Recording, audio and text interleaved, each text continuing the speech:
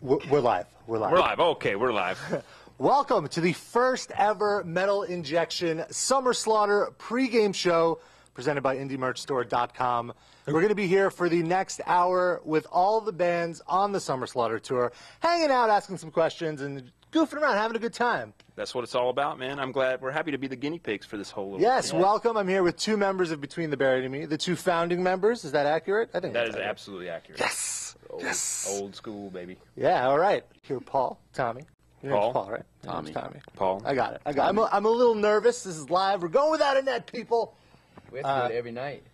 Going without. Uh, that's Wow. true. Stand in front of a bunch of people. How do you got like in the ten minutes before we went live? I was so tense. Do you guys get that anxiety happening? Absolutely. I have Wow. to take medication for it.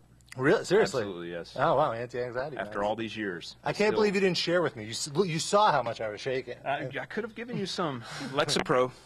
Shout out. you Pharmaceutical guys. industry.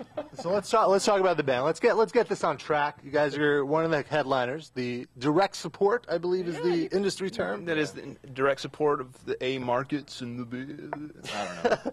And also, you guys have an album coming out in October, Parallax Two. How far are you going to take this Parallax series? Is it going to be like a 15 There will end up series? being Parallax Seven. This was a seven-part, uh, seven-part series, Mm-hmm. and then a prologue. Oh, I like it. I like it. No, but when you guys when you guys did the EP, did you have the full length in mind for the? We had it in mind, yeah. We didn't really know exactly what we were going to do yet, but we definitely knew it was going to be a two-parter, and we were going to finish it all up with the second one. Cool, cool. And uh, how long is this album? It's like over 60. it's- 74 minutes, I think. Do you really feel that your fans have the attention span for a 74 minute album? Yes. It's, it, it's, I mean, I think we laid it out properly. Uh, I, I think it, there's a lot of breathing room when it needs to happen, and Yeah. There's some good. You know? Yeah. There's enough dynamics to Yeah. keep, you know, it's not just like a blitz of Right.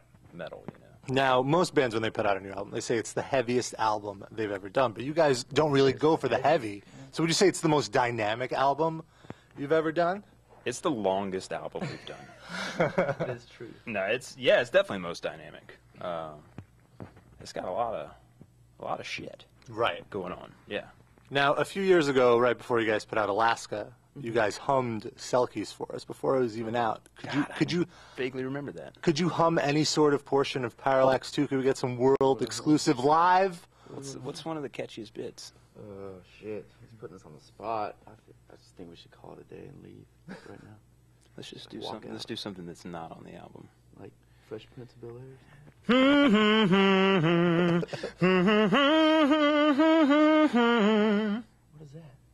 Even flow. Oh, oh yeah, that's good. Oh, you guys doing another cover? No, no, no covers on So this. that's on.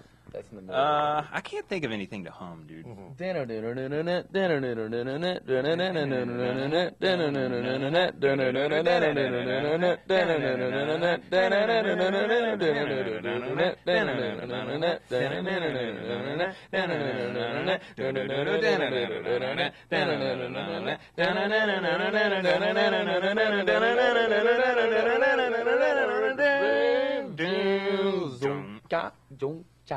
Wow. Yeah.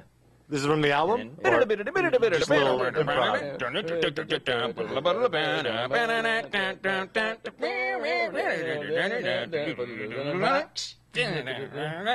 I don't know. I don't know either. I don't know. Well, cool. Well, there's a lot of people watching, a lot of people in the chat. Does anyone have any questions for Between the Buried and Me? We have a few more minutes with these guys. Um, let's see. I'm not gonna be any questions. Who gives a shit about us?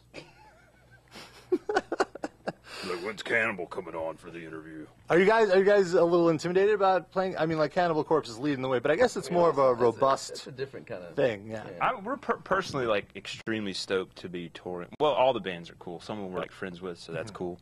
But then like Cannibal is kind of like for us. I mean, we toured with Dream Theater, and that was kind of a big deal, you know. But mm-hmm. Cannibal is kind of in that vein. Like they were the first death metal band I ever got into, so it's kind of like you know, I'm kind of like Ventura.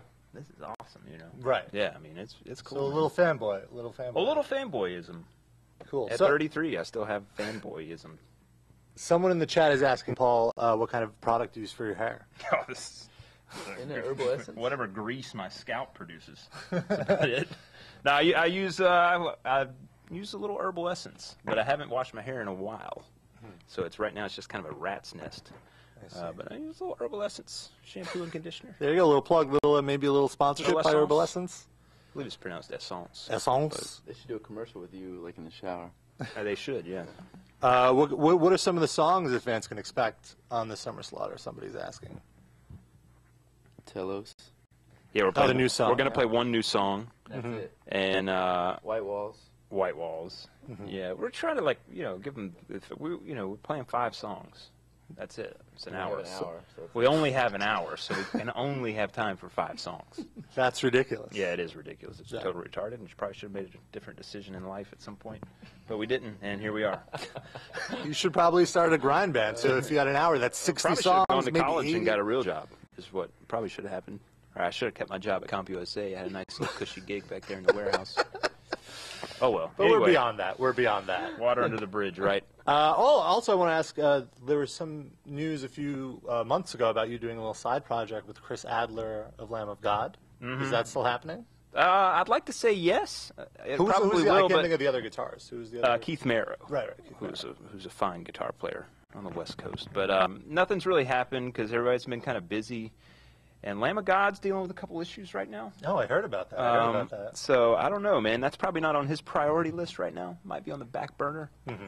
But uh, I, I'd like to say, yeah, we'll probably do something eventually in the future. Cool. Uh, Uh, you guys are keeping busy. I mean, Dan has Trioscapes. He's doing some touring with that. How about how about you, Tommy? You're going to be doing any more Guile stuff? Uh, I've been writing for some stuff, so any more? We need a little more dancey stuff. a little mm, more. probably not. Tommy's also a father now, so that Yes, keeps his- that's that's quite a side project. Oh, yes, big size. Big one.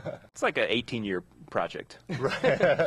How how has being a father changed you? Have you Um, I don't know. You just you can't think about yourself anymore. is this your first tour? First tour It since is. uh, having It a is. kid? It Oh, is. that's- I'm gonna see him in about ten minutes, actually. oh yeah. So I'm excited about that. He- Is he going to be going around the country with the summer No, Slaughter tour? no. Summer baby tour. a few days. A few Okay. days. Big I live fan. out here now, so, Oh, oh, okay. Cool. so Cool. yeah. Awesome. Man, he's Awesome. on the record. Really? He is, yes, we recorded him, He, he can already shred. Manipulated his voice We a little bit. We recorded him flipping out and crying, and then we manipulated it. It sounded like aliens. Oh, wow. So That's exciting. And uh, people are. When is the record coming out? It's uh, October 9th, right? October 9th. Mm-hmm. And bit. Six days after my brother's birthday. That's a good way. oh, to that's that. good to know. I was I was going to ask. Like, Yeah, it's like because a lot of people can't remember October 9th. It's a weird number, but six days after John Martin Wagner's birthday, Cool. Well, and also Dave Winfield has the same birthday. Famous baseball player for the Yankees, October 3rd. His birthday. Cool. Well, I think uh, I think our time is up here. Thank you for uh, coming by. These guys left their sound check just to hang out with you guys. So we're gonna sound like shit tonight because of this stupid interview. Thanks a lot. So anybody at the House of Blues tonight, No, if you good. see me, just blame me.